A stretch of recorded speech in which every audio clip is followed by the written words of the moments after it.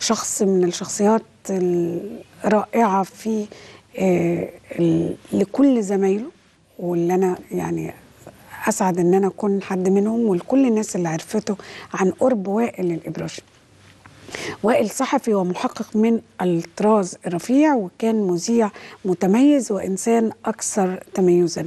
وائل أصيب بالكورونا ورحل بعد مقاومة كبيرة يعني ساب وراه كل السيرة أو المسيرة الصحفية الحافلة بالأعمال القيمة والنجاحات اللي مش سهل تتكرر.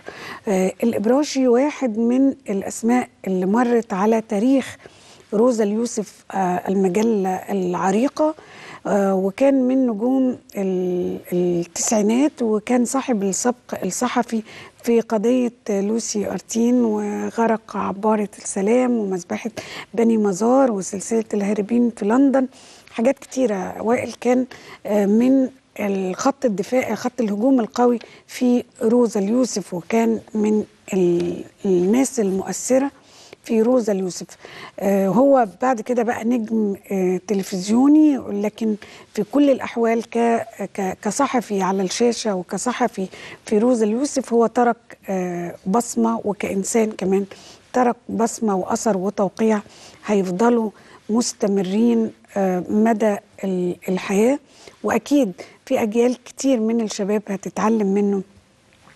التحقيق الصحفي والتحقيق التلفزيوني يبقى آه، إزاي كان محقق من الدرجة الأولى وألف رحمة ونور آه، لروحك يا وائل مفتقدينك دايما لكن أنت دايما موجود معانا.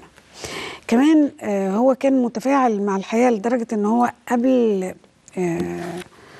قبل رحيله هو كتب نعي في شخصية ملهمة أخرى آه، في تاريخ مصر كله مش على مستوى بس آه، أصحابها. تهاني الجبالي تهاني الجبالي آه، المستشارة الجليلة الكبيرة ال- يعني تاني الجبالي جزء مهم جدا من تاريخ مصر في السنين الأخيرة. هي أول امرأة مصرية تولت مهنة القضاء في العصر الحديث.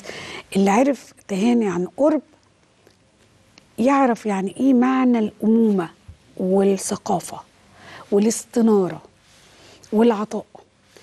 يعني أنا آه، يعني كان حظي كويس إنها هي كانت بالنسبة لي أم روحية وكانت شخصية بجد نموذج وتدرس في كل تفاصيل حياتها. اللي يعرفوا الناس عنها إن هي نائب رئيس المحكمة الدستوريه العليا وإن هي السيدة اللي تولت المنصب القضائي الأعلى في تاريخ مصر بعد عملها بالمحاماة 30 سنة.